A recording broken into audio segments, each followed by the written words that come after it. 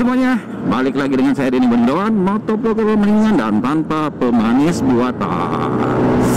Hari Minggu hmm, San Mori, saatnya San Mori Dan saya udah lama, hampir setahun ya San Mori Karena terakhir saya San Mori 2020 ya. Sekarang udah 2021 nih. Jadi hampir setahun saya. Dan San Mori kali ini saya mau ke Bukit Indah City atau BIC ya bareng teman-teman Kapur Motovlog Karawang Purwakarta Motovlog.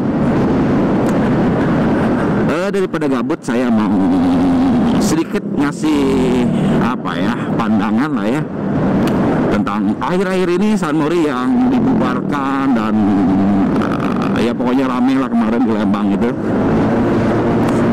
Jadi saya cuma mengimbau sama teman-teman motovlog terutama ya motovlogger ya janganlah kalian ikut-ikutan alay-alayan kayak gitu gitu ya.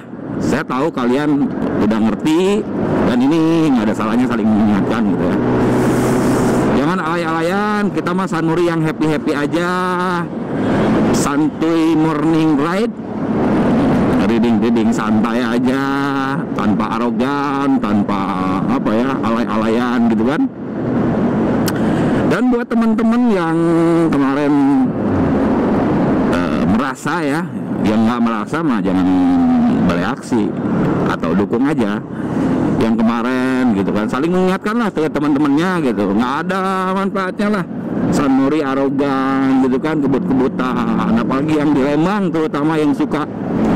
Kalau menurut saya sih San Mori ke Lembang sah aja gitu nongkrong gitu. Mungkin sambil jajan itu juga mungkin akan membantu saudara-saudara kita yang berjualan di sana jadi lebih ramai gitu kan. Ada daya tarik tersendiri lah eh, Lembang hari Minggu pagi hari gitu kan. Nah ini spesial buat yang sering kalau ke sana itu cuman sekedar datang ke Lembang lalu bolak-balik kebut-kebutannya jelas gitu kan. Eh gini.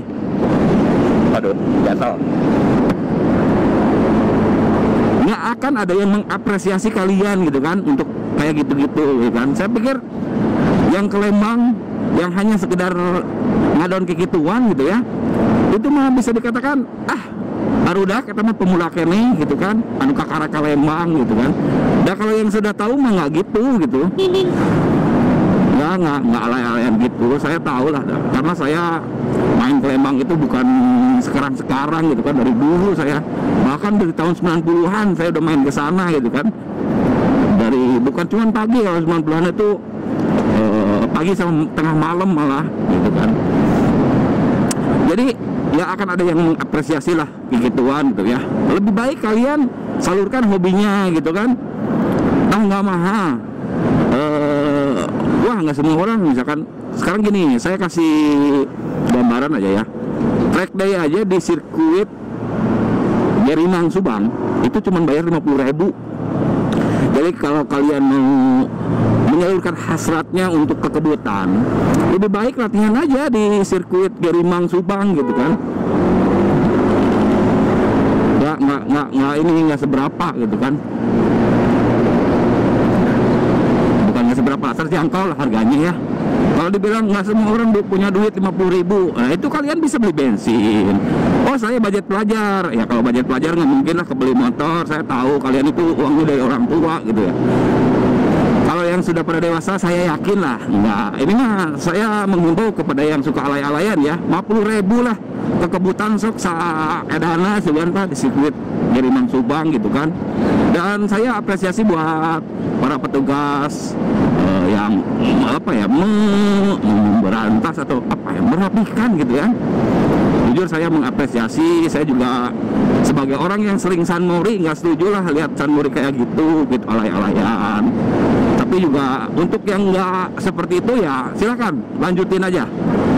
Ulah dikenorkan nggak apa-apa yang namanya San Mori nggak ada salahnya mau San Mori ke Lembang San Mori ke mana tuh Jati Gede San Mori ke mana lagi? Ehm, daerah Monas atau ke mana pun nggak ada salahnya daerah Jawa Tengah barangkali ya.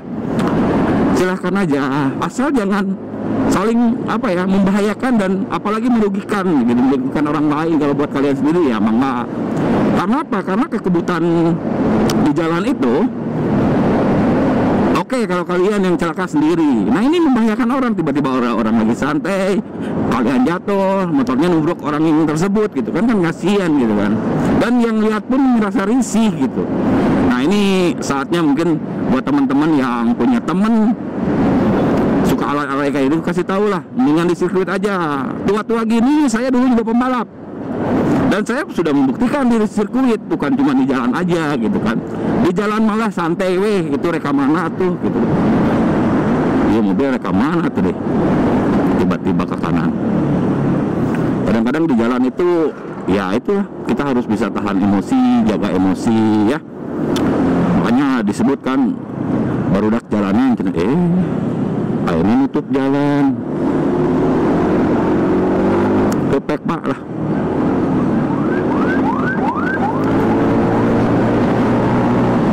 jadi gitu itu kan itu pesan buat teman-teman yang suka alay-alayan ya. Stop Sanmori arogan. Silahkan Sanmori yang ya yang asik-asik aja gitu kan. Udah kudu kekituan mendingan ngeplok kayak saya gitu kan. Udah kudu kekebutan oke minimal kita ada yang bisa ditunggu gitu. Nanti satu saat dapat adsense. Kan asik kan ya. Bisa mungkin ngeprek motor nanti uang adsense-nya atau memodifikasi motor kita cari lagi eh, apa namanya konten lagi yang bagus tentunya ya. Wah ini keren. Hmm, Vespa ya. Nah, ada juga salah satu barangkali mudah-mudahan ini menjadi masukan ya buat eh, bapak-bapak atau ibu-ibu di eh, pemerintahan daerah gitu ya. Ini mah saya bukan ini ini mah angan-angan aja dari barangkali yang sama-sama hobi kebutuhan seperti saya gitu ya. Ajuin lah pak bu gitu kan. Sekarang itu Indonesia lagi bikin sirkuit Mandalika. Eh, biar apa? Biar anak-anak alay ini nggak punya alasan lain gitu kan. Aduh baru juga ngomong ini. Kamaran bray jadi semoga pemerintah daerah eh, mulai memikirkan untuk membuat sirkuit lah tiap kabupaten gitu ya. Karena saya jujur aja sirik sama Su- Subang Subang banyak yang berprestasi karena mereka bisa latihan kapan pun dengan eh, biaya yang terjangkau gitu kan. Kalau dari Purwakarta ke Subang bisa aja cuman biayanya lebih tinggi gitu kan. Bikinin lah sirkuit road race gitu kan. Cari lahan. Kemarin saya baca-baca ya bangunan apa bikin sirkuit itu minimal itu 8 miliar gitu kan. Saya nggak tahu tuh kayak gitu gitu saya kurang hafal lah. Itu uang bukan sedikit tapi eh, demi memajukan juga biar hasrat has- apa anak-anak alay ini tersalurkan. Meskipun memang tidak jaminan setelah ada sirkuit mereka bakal kebut-kebutan di sirkuit atau balapan di sirkuit. Mereka tetap aja seperti betul. Tapi minimal ketika eh, kita apa namanya kita razia atau kita beresin gitu kan? Atau ditertibkan mereka sudah tidak punya alasan lain. Mereka eh, ketika kita bilang kalau mau kebut-kebutan di sirkuit kan kadang-kadang anak-anak alay suka suka jawab tuh nggak ada sirkuitnya di tempat saya. Nah ini ini masukan aja ya. Karena saya pikir pemerintah eh, bisa kasih solusi yang eh, bagus gitu ya.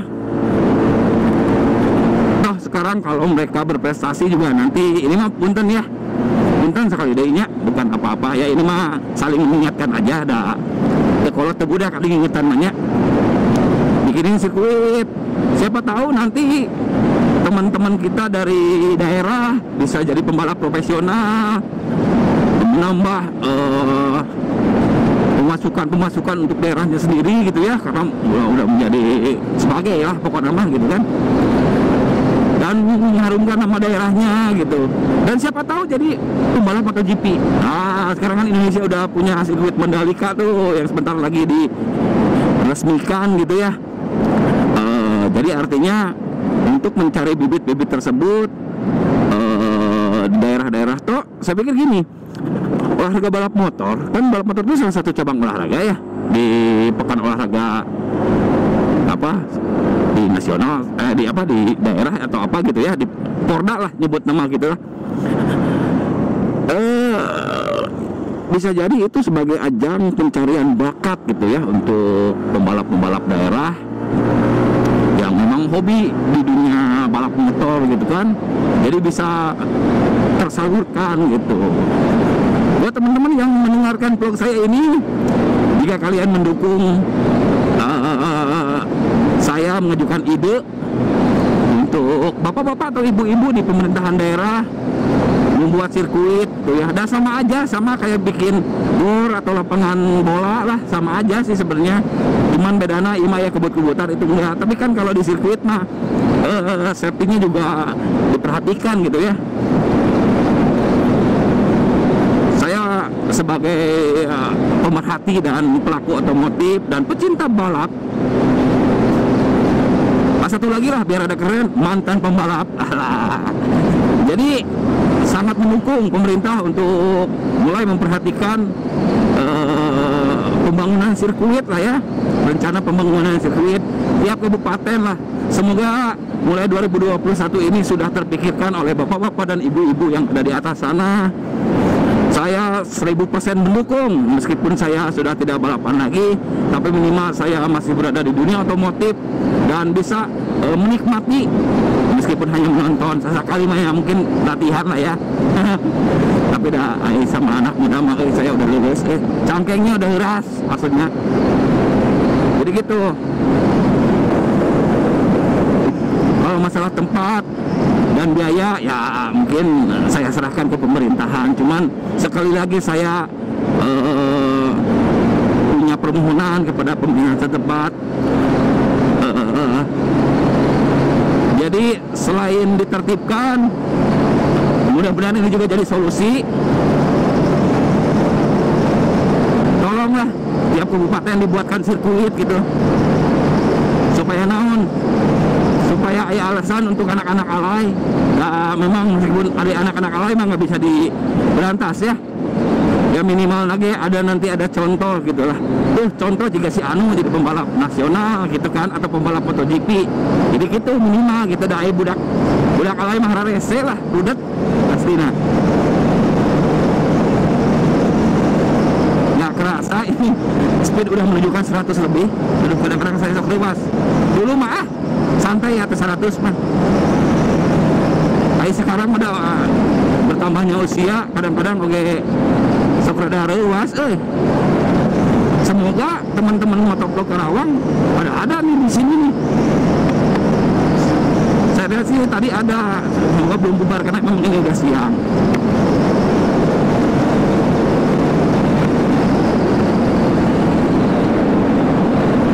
nah karena ini udah sampai SPBU Bukit Indah City jadi mungkin vlognya sampai sini dulu. Jangan lupa yang setuju dengan video saya tadi tolong sebarkan vlog ini supaya su sugan perhatikan lah ke bapak-bapak ibu-ibu di pemerintahnya. Sekali deh semangat terus mudah-mudahan sehat semua. Terima kasih sudah nonton jangan lupa subscribe and bye bye